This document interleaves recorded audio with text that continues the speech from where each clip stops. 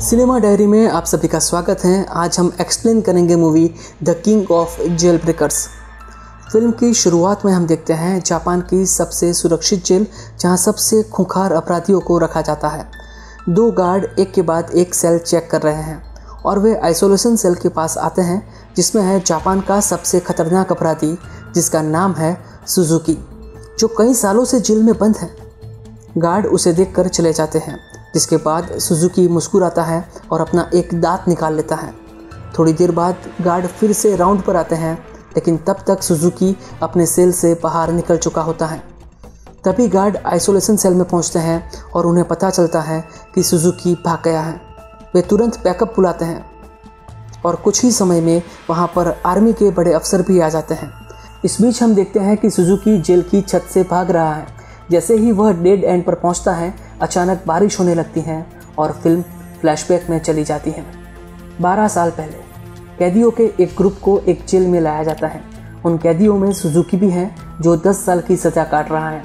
वह एक इंट्रोवर्ट व्यक्ति है, जो कभी किसी से बात नहीं करता और उसके सीने पर एक अजीब सा माउंट फुजी टैटू है।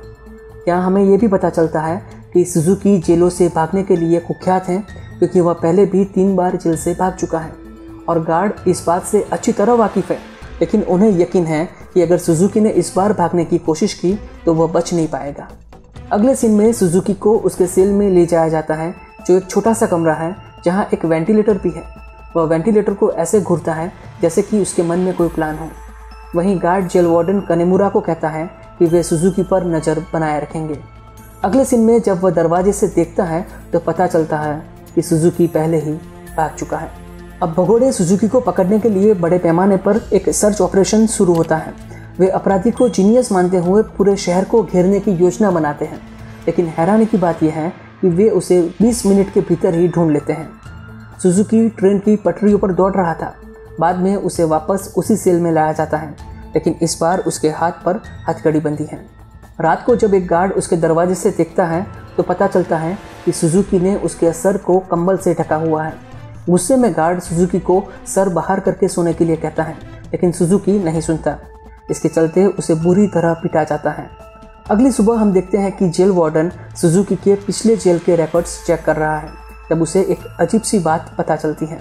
जब भी सुजुकी जेल से भागता है तो वह तुरंत ही पास की रेल पटरियों पर से पकड़ लिया जाता था। रात में वार्डन गार्ड के साथ रूटीन चेकिंग कर रहे थे। जब वे सुजुकी के सेल में प्रवेश करते हैं तो वे ये देखकर चकित रह जाते हैं कि उसने अपनी हथकड़ी को खोल दिया है, जिससे गार्ड बेहद गुस्सा होता है और जानना चाहता है कि उसने हथकड़ी कैसे खोली, लेकिन वह हमेशा की तरह चुप रहता है। अगले दिन हम सुजुकी के हाथ में एक छोटा सा तार देखते हैं। यह वही तार है जिसकी मदद से वह अपनी हथकड़ी खोलता है। और ये बताने की ज़रूरत नहीं है कि वह इस तार को कहाँ छिपाता था। अगले सीन में हम देखते हैं कि वार्डन एक हफ़्ते की छुट्टी पर जाता है। उसकी अनुपस्थिति में सारे गार्ड निश्चिंत हो जाते हैं और यह सुजुकी के लिए सही वक्त होता है अपने प्लान को एक्शन में लाने के लिए। वह तार निकालता है और उससे दरवाज़ा खोलने की कोशिश करता है। थोड़ी देर बाद एक गार्ड रूटीन चेकिंग के लिए आता है। जब वह दरवाजे से देखता है, तब सुजुकी फिर से सिर ढककर सो रहा होता है, ऐसा लगता है। हालाँकि इस बार वह इसे नज़रअंदाज कर देता है। तभी हम देखते हैं कि सुजुकी छत से गार्ड को देख रहा है।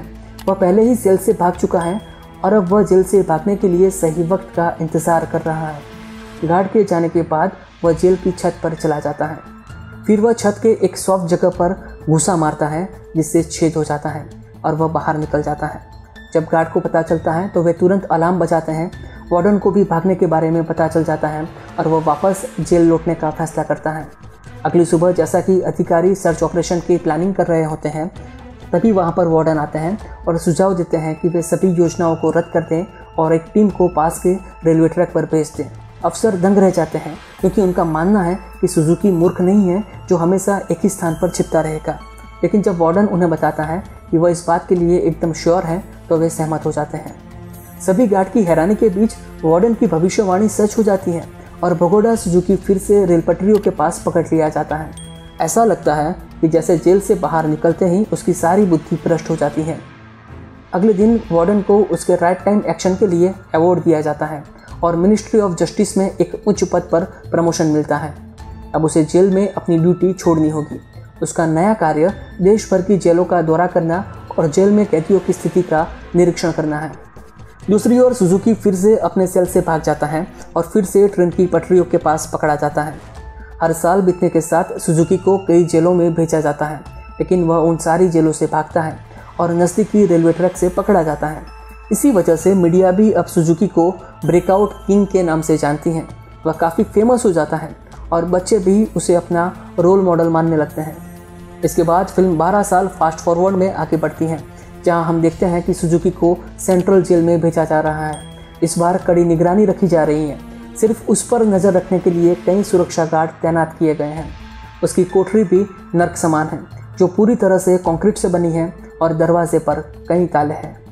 यही हमें पता चलता है कि यह वही आइसोलेशन सेल है, जिसे हमने फ़िल्म की शुरुआत में देखा था। जैसे ही गार्ड चले जाते हैं, सुजुकी पूरे सेल को स्कैन करता है और ऐसा कुछ खोजने की कोशिश करता है जो उसे भागने में मदद कर सके। एक दिन एक गार्ड भोजन लेकर आता है और सुजुकी के सेल के अंदर रखता है। तभी सुजुकी अचानक उसका हाथ पकड़ लेता है और हथकड़ी लगा लेता है। गार्ड अपनी सीटी बचाता है और तुरंत बैकअप बुलाता है। तुरंत ही दूसरे गार्ड आ जाते हैं और सेल खोलकर सुजुकी की पिटाई करते हैं, जिससे वह बेहोश हो जाता है। होश में आने के बाद वह दरवाजे की छोटी सी खिड़की से गार्ड की मूवमेंट को ट्रैक करता है। जब वह ऐसा कर रहा होता है तो उसके चेहरे से खून टपकता है और लोहे की सलाखों को भिगो देता है। अगली सुबह गार्ड सुजुकी की हथकड़ी में कुछ अतिरिक्त स्क्रू लगाते हैं ताकि वह उसे खोल ना सकें। और जाने से पहले वे एक बार फिर सुजुकी की पिटाई करते हैं। इस तरह सुजुकी के दिन बीतने लगते हैं। वह जानबूझकर गार्ड पर हमला करता है और पीटा जाता है। फिर दरवाजे की लोहे की सलाखों को अपने खून से भिगो देता है। एक दिन गार्ड ने उसे इतनी बुरी तरह पीटा कि उसका एक दांत टूट गया। हैरानी की बात यह है कि सुजुकी उसे उठाता है और मुस्कुराता है। जैसे कि उसने कोई प्लान बनाया हो और वह प्लान सफल हुआ हो। अगले सीन में सुजुकी अपने दांत से दीवार पर कुछ ड्राइंग करता नज़र आता है।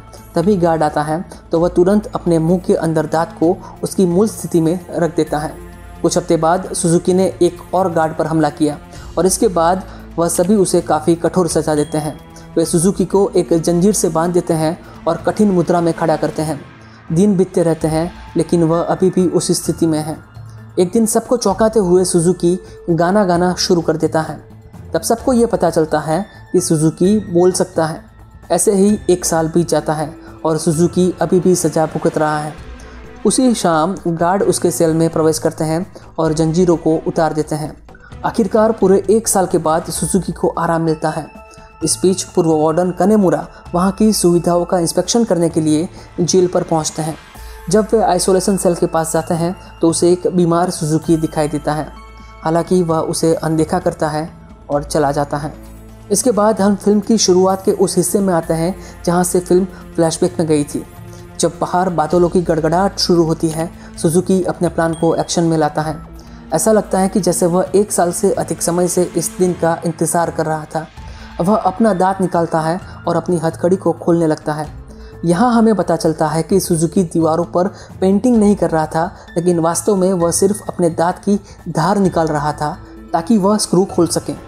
हथकड़ी से मुक्त होने के बाद वह दरवाजे के पास आता है और लोहे की सलाखों को ज़ोर से हिलाना शुरू कर देता है।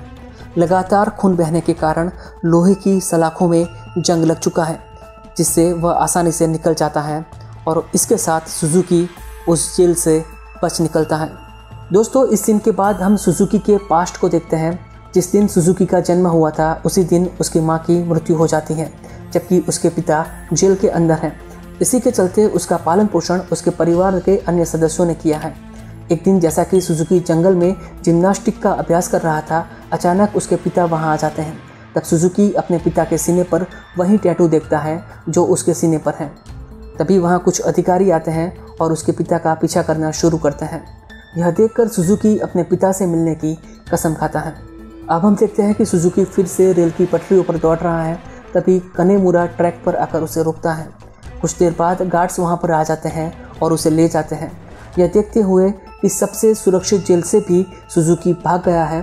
क्राइम डिपार्टमेंट के हेड कनेमुरा को आदेश देते हैं कि सुजुकी को दुनिया की सबसे घातक जेल में ले जाया जाए, जो है प्रिजन आइल। दोस्तों, प्रिजन आइल किसी अन्य जेल की तरह नहीं है। यह समुद्र के बीचों बीच स्थित है, जिसके चारों तरफ़ तूफानी समुंदर है। इसके अलावा आसपास के पानी में शार्क भी होती हैं, जिससे बचना असंभव हो जाता है। यह जेल अंदर से और भी खतरनाक है। जेल के अंदर हज़ारों गार्ड हैं और अगर कोई कैदी भागने की कोशिश करता है तो उन्हें देखते ही गोली मार दी जाती है। कैदियों को जहरीला खाना भी दिया जाता है, जो धीरे धीरे उन्हें पागल बना देता है। सुजुकी जब वहाँ पहुँचता है तो उसे लोहे की रोड से बने एक पिंजरे में रखा जाता है। वह एक इंच भी आगे नहीं बढ़ सकता। भागने की बात तो दूर रही। अगले सीन में हम देखते हैं कि कनेमुरा जेल लाइब्रेरी में प्रवेश करते हैं और सुजुकी के बारे में जानकारी खोजना शुरू करते हैं। थोड़ी खोजबीन के बाद उन्हें कुछ पुरानी फाइलें मिलती हैं। वहीं सुजुकी पिंजरे नुमा सेल में ध्यान कर रहा है। हालाँकि उस जगह से भागना नामुमकिन सा लगता है, लेकिन उसके मन में एक विचार आता है। कुछ देर बाद वह अपना ध्यान समाप्त करता है और अपनी आँखें खोलता है। फिर वह अपने दोनों कंधों को डिसलोकेट कर देता है और धीरे धीरे लोहे के पिंजरे से बाहर आता है। तभी एक कैदी उसे देखता है, लेकिन वह जहरीले नशे में है और कुछ बोल नहीं पाता। इस बीच कनेमुरा अभी भी फाइलें पढ़ रहे हैं। जेल में अलार्म बंद हो जाता है। हालाँकि चिंतित होने के बजाय जेल वार्डन काफ़ी खुश है, क्योंकि इस आइलैंड नुमा जेल से बचने का कोई रास्ता नहीं है। वह इस बात से भी खुश हैं, क्योंकि उसके गार्ड को आखिरकार एक और कैदी को मारने का मौका मिल गया है। कनेमुरा उसे बताते हैं कि सुजुकी एक जीनियस है, लेकिन वार्डन उसकी बात पर हंसता है और कहता है कि वे अगली सुबह सर्च ऑपरेशन शुरू करेंगे। सुबह के समय पूरे आइलैंड पर गार्ड राइफल के साथ भेजे जाते हैं। जैसे ही वार्डन अपने बाकी आदमियों को जानकारी दे रहा होता है कनेमुरा अचानक आते हैं और उन्हें बताते हैं कि सुजुकी वास्तव में अपने पिता की तलाश कर रहा है, जो कि इसी जेल में बंद है। यह बात सभी को हैरान कर देती है और आखिरकार सच्चाई सामने आ जाती है। यह प्लान सुजुकी का मास्टर प्लान था। वह जानबूझकर खुद को जेल में डालता था और हर बार जेल से भाग जाता है क्योंकि उसे प्रिजन आयल तक पहुँचना था। उसका मुख्य मिशन उसके पिता को ढूंढना और उनके साथ भागना है। अगले सीन में हम देखते हैं कि सुजुकी आखिरकार अपने पिता से मिलता है। दोनों इमोशनल हो जाते हैं। कनेमुरा, वार्डन और अन्य गार्ड भी उसी स्थान पर पहुँच रहे हैं।